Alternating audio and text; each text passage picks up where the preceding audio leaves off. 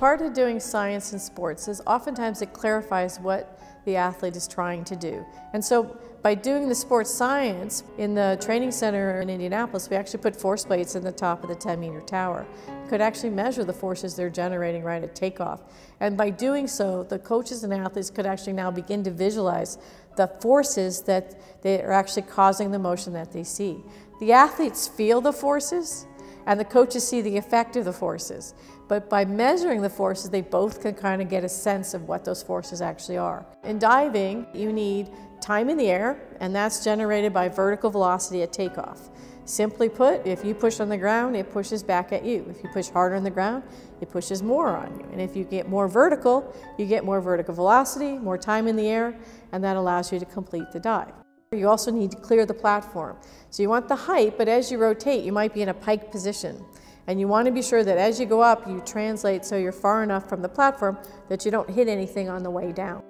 The third thing that you need is rotation. So now what's important is if here's the body and the force is going straight through the body, there's no rotation. If you apply a force this way, it'll rotate this direction. You apply a force this way, it'll rotate that direction. So now you need vertical, horizontal, and it aimed in such a way that you either get the forward or backward rotation. The 10 meter platform is rigid. Once you leave the tower, the path of your center of mass is just going to go through a parabolic path. So if you want to be able to rotate or you want height on that path, everything has to happen during the takeoff. So while you're standing with your feet or hands interacting with the tower, that's the time to generate the force that you need to do the skill. Part of getting a good jump off the tower or the board is practicing how to do those jumps on dry land. And so oftentimes when you go to a diving well, you'll see over to the side of the pool, there'll actually be a dry land training area. If you can do consistent jumps in dry land, you know that you're going to be more apt to do that on the 10 meter tower. By trying out techniques and a spotting belt, you're able to experiment and really fine tune your technique before you take it to the water.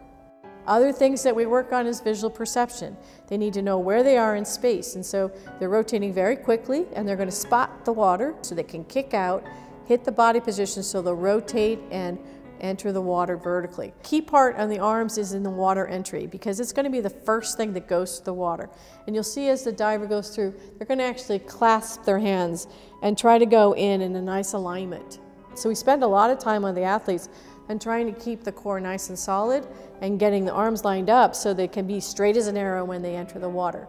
The reason why they want to enter the water vertically is that they're going to go into the water and bring all of that water down with them. Once you're under the water, you want to create a small hole so the water that comes up doesn't make a big splash and you're more apt to get higher scores if you can enter without a splash. And that's called a rip entry. And they call it a rip entry because it literally sounds like you rip a piece of paper. And so to have that perfect entry, that means you have to do a lot of things right in the flight as well as on the tower.